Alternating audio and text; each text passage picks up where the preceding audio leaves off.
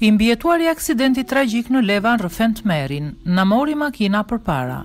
Shkova të shihja për gjendjen e kushuririt që ishte aksidentuar, kur një makinë na mori të gjithëve para.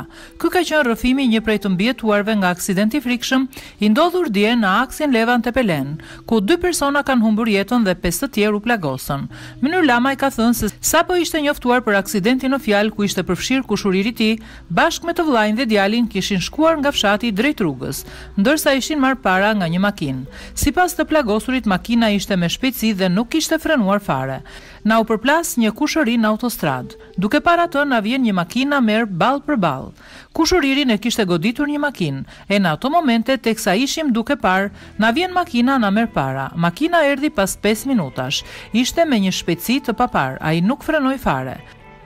Ne ishim në këmbë, shkuam të shihnim djalin e xhaxhait që ishte aksidentuar. Ishim në fshat, sapo morëm vesh për aksidentin, dhe duke parë ambulancën në rrugë na mori makina para.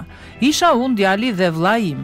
Edhe ata u goditën, ishin shumë persona, nuk e di, ka treguar ai, ndërsa ende ndodhet në spitalin e Fierit.